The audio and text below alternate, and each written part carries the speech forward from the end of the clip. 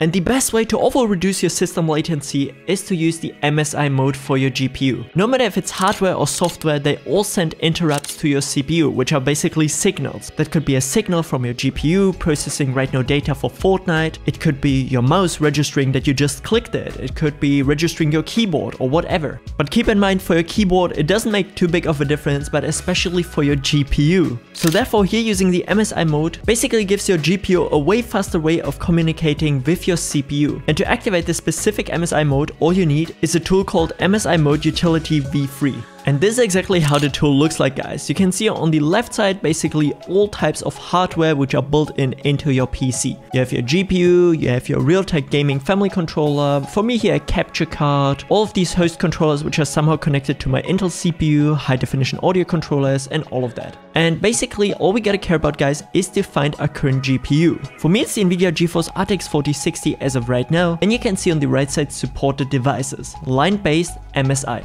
Line-based is basically the normal way how before interrupts get processed on your PC, but the MSI mode is as mentioned a lot faster. So therefore what we want to do is check if it says MSI here on the right side and this should literally be the case for any GPU which you guys are using right now which is more on the up-to-date side guys like even something like a GTX 1050 or even like lower like that like 980 they should also have this and then you can see here now MSI and all you guys want to do is basically make sure that this one here is actually checked. So we're just gonna click onto it and we're good to go. On the right side now we have interrupt priority and this one you actually want to put to normal guys. Don't put it on high. Normal works a lot better and more consistent and then all we got to do is click here onto apply on the top and then we already set and good to go. And you will immediately notice a difference guys, especially if you're playing on a higher hertz refresh rate, that your game is just gonna overall feel a lot smoother. The next best way to counter high system latency guys is to actually boost your RAM frequency. What I want to talk about is guys that a lot of people actually don't utilize the maximum megahertz that RAM can offer. All you need to do for that is enable an XMP profile. This is basically a mode which you can enable on any PC guys which is automatically gonna use the highest megahertz possible for the RAM which you bought for your PC. And most of the time, especially when you buy a brand new gaming PC or you reinstall Windows, your RAM is actually not set to the highest it could go. So you could potentially have something like 3600 megahertz RAM, but it's only running at like 2400. And all you get to do guys is actually Google the exact motherboard model which you have as of right now. You can use a tool like CPU-Z to find it out and then XMP profile. I cannot show you this exactly guys because every single mainboard manufacturer has a different layout and for me I only have two different ones so therefore the easiest way for you is to just simply Google your exact mainboard and then how to enable XMP.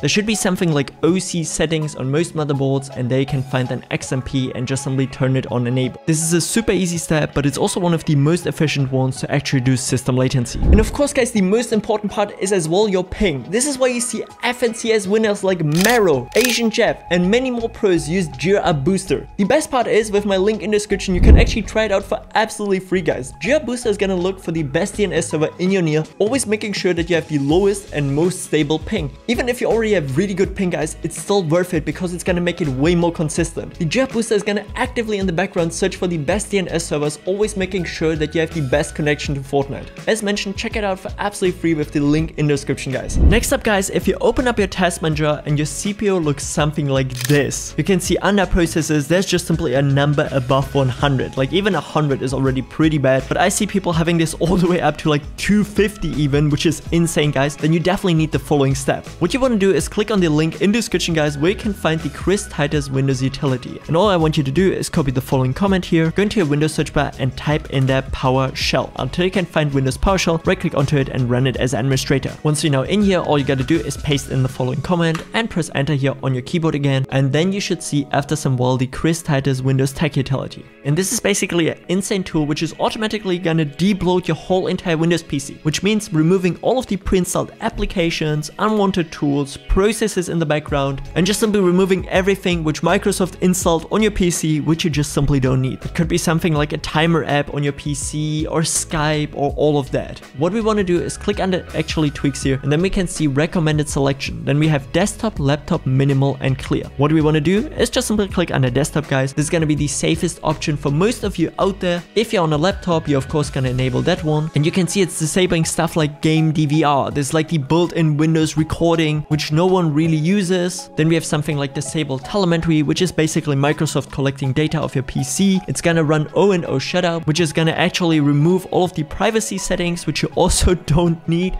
Like this gives literally Windows permission to collect everything from your PC and all of that. Just simply leave it on the preset ones. As mentioned, I'm gonna do desktop here on my PC. It's also gonna disable mouse acceleration for you, which is also a really important setting. But before you apply all of these tweaks, guys, always make sure that you actually also check here create restore point so that you can actually go back to it if you feel like it actually messed up something with your PC, which should not be the case because these are all tested and they literally work fine on any PC which I ever worked with. Then after the tweaks are running, guys, all you gotta do is restart your PC real quick and your processes should be a lot lower, guys. So next up, what we're also gonna utilize is actually the brand new NVIDIA app, guys. Already made so many videos about this, but I'm just gonna tell it one more time. Just simply get it, go under the latest drivers and make sure that you get them guys. Especially if it's a full release version, you should be chilling. If you have something like a GTX 1650, RTX 20, 30, 40 series, definitely there you should utilize always the latest version. If it's a full release guys, I'm not talking about the studio drivers, I'm talking about game ready drivers. Keep that in mind, yeah? These are like the full release versions. I know some people there like to actually install these beta drivers, that you might have some issues, but always go for the game ready ones. And then under graphics guys, I always tell you, if you actually scroll down here,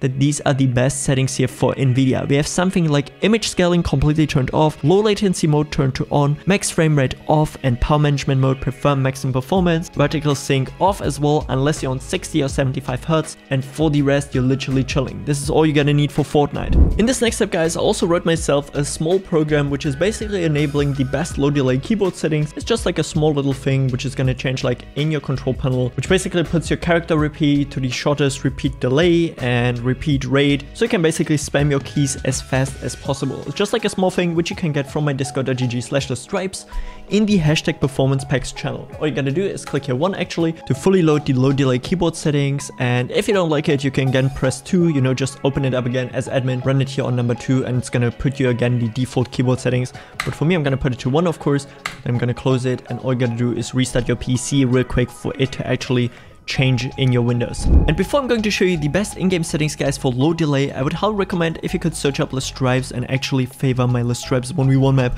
which is the best for low delay, so therefore I'm going to try it of course on this map. It has the least amount of assets and all of the new weapons, so therefore you should definitely check it out guys. So and once we're here right now on the map guys itself, what you want to do is open up your settings. I usually don't have my FPS on unlimited, it was only because I recorded a benchmark, but for rendering mode definitely use the performance mode on Nvidia and Intel integrated graphics on AMD definitely select DirectX 12. Then for the rest, you can just simply make sure to copy everything. I use my 3D resolution on 90% for a nice little FPS increase. Viewing distance on near, textures on near, and report performance sets on disabled. Then in here, just simply scroll down and also put all of the replays to disabled. This is the easiest and best way to showcase. So now we're here as well on the map, guys, and trust me, your Fortnite is literally going to feel amazing. Like this is so smooth actually to a point where it's gonna be actually difficult to play than ranked.